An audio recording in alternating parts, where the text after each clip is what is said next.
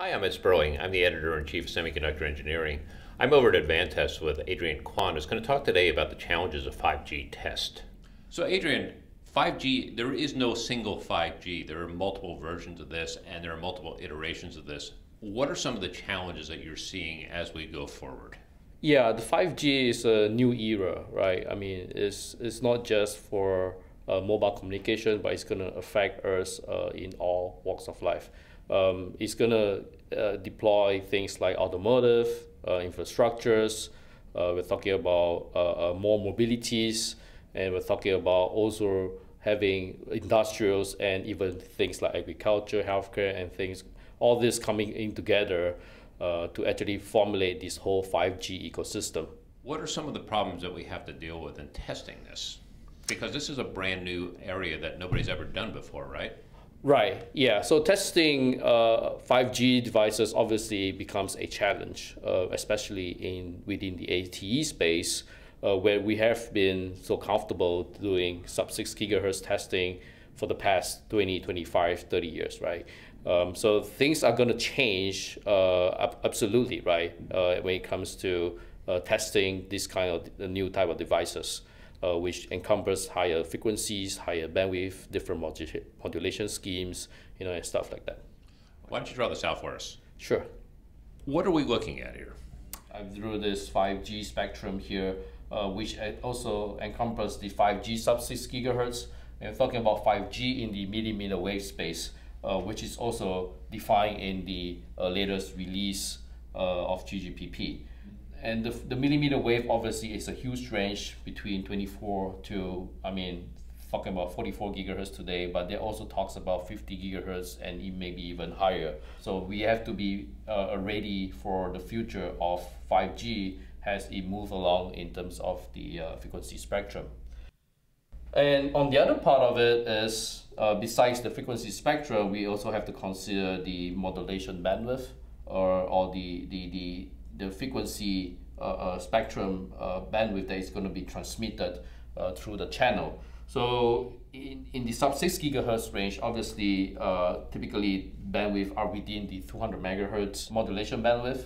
Uh, the the 6 8 to 18 gigahertz, or sometimes we call it the sub 18 gigahertz, are typically ranging between 500, 800, uh, and 1 gigahertz. And that goes the same for the 40, 24 to 44.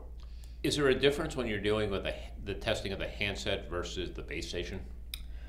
Um, yeah, so typically uh, handsets and base stations are, uh, are very different uh, because the, the infrastructure of the base station uh, requires much more complexity in terms of, in today's case, if you discuss about a base station that deploys 64 uh, 128 to 56 kind of uh, phase array. Obviously have a very different architecture from what the phone is uh, where we, we probably only need by 8 or 16 or maybe max 32 kind of uh, phase array uh, structures. So testing them is definitely very different. Uh, um, obviously we need to consider different things in terms of the architecture and as well as the form factors and stuff like that of uh, between the base station and uh, phone, right? And the handset gets very complicated because now you've got antennas built right into the chips too, right? Correct. Yeah. So um, antennas in package, which is uh, AIP, is a common term uh, today, is is gaining a lot of popularity because right now as we go up higher in frequency, obviously we can incorporate uh, antennas uh, within the the module itself, right? So this is something that needs to be taken into consideration when test is involved. How do you make sure you get enough coverage of these uh, devices because they are very complex, they're very dense? In terms of uh, test coverage, um, definitely uh, compared to what we are testing in the sub 6 gigahertz transceivers today, uh, there's a lot more to consider because we need to, especially for AIP devices or antennas in, in package devices, where we need to think about the phase shifters, we need to think about gain controls, both adding with the phase shifters, and how that come together and how we actually uh, uh, uh, measure up in terms of the different transmission angles and path, uh, and how this different phase array come together and, and combine uh, at the end of the day at the, at the antenna side, right? So these are the a lot of these challenges. Uh, definitely, we are going to face in in the ATE space. And you're also testing more than you were in the past, right? Because now you're not only testing the device, you're testing it in motion in the field. Yes, so that's what we call mission mode testing or sometimes full duplex testing is becoming an, a norm these days. Uh, and that's why the architecture of the ATE has to really uh, enable us to do this kind of testing because for the past 20, 25 years, the architecture of, of uh, RF solutions on the ATE has, has very, very, a lot of limitation in terms of doing this kind of mission mode testing. You've got a lot of pieces here that you have to test for that you didn't necessarily have to test for in the past, right? Correct, yes.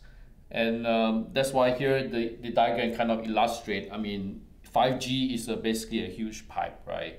Uh, and obviously we have to consider uh, the past uh, standards uh, like the Edge, GSM in the 2G, 3G, 4G, and even today we have the LTE IoT, or sometimes we call it the narrowband IoT.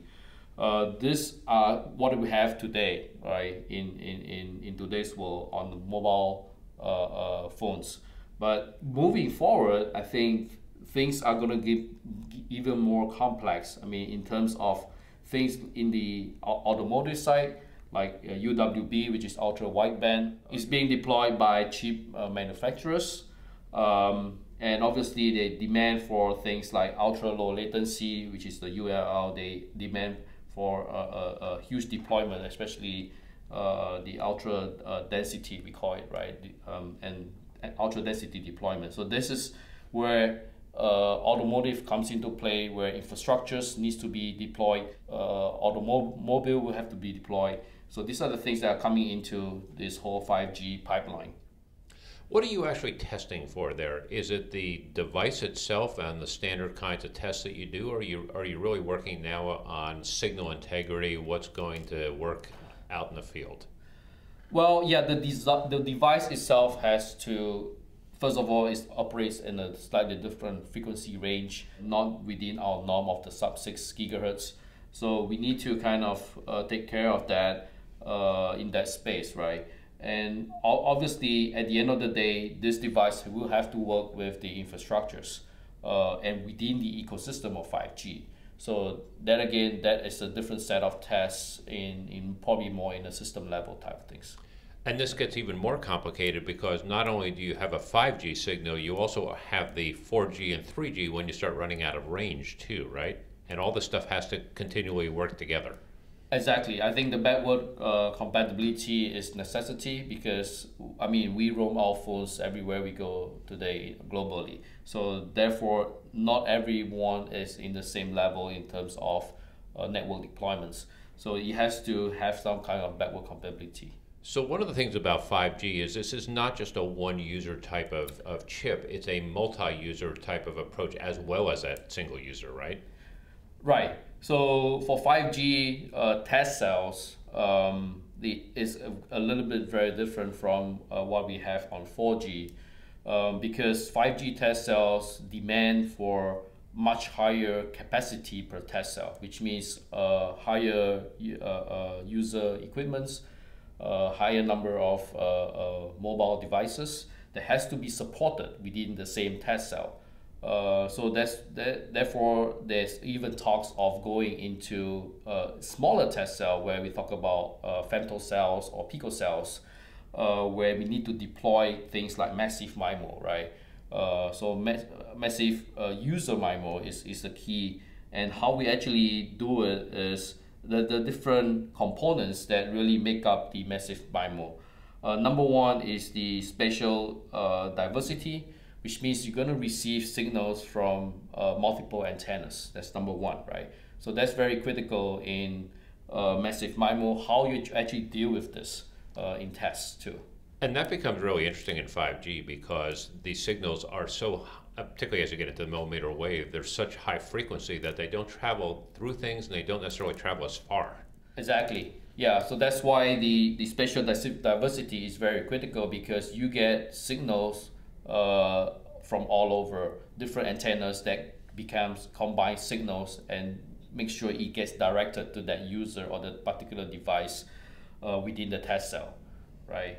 So that's very critical. And definitely resource allocation is also very critical. Um, so how to really maximize the battery lives of the user equipments. So uh, the resource that we use or the infrastructure uses to allocate to a, a, particular user needs to be very efficient. And that's the thing um, that has to be taken care of within that infrastructure uh, type of devices too. And the third one is really the spectral efficiency. How we're gonna divide the, the spectrum, which is only that small between so many users, right? So that spectrum uh, uh, uh, deployment efficiency has to be there in terms of per user, right, within the uh, um, 5G test cell. And lastly is the back-end processing, which is the multi-user. How am I supposed to process all the different users that are transmitting or receiving signals at the same time? And this is really a, a lot of these uh, 5G AI that might be deployed in the future, especially in the base station or the uh, infrastructure side. One of the issues with 5G is it's a very complex technology. You're testing a lot more than you were in the past. These chips are more complicated than they were in the past. Sometimes they're even in packages.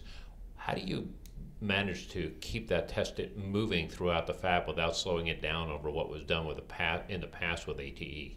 Um, yeah, so I think the integration of the different uh, technologies, whether is it packaging, uh, whether is it the uh, uh, uh the IPs are being stacked and stuff like that. These are definitely changing the way we uh, test these devices today.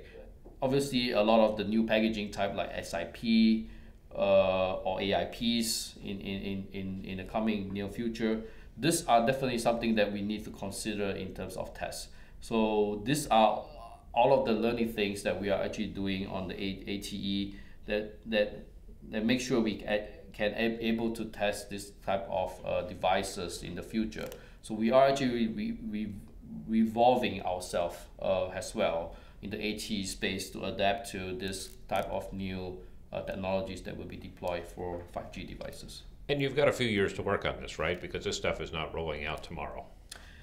Um, well, yes and no. I mean, we have some customers that are already have uh, samples uh, that that they want to really uh, ship for early users trials and stuff like that. So the the the service providers are, are actually doing a lot of this end to end user uh, trials uh, for five G, but but obviously mainstream consumer will take a couple more years um, to deploy.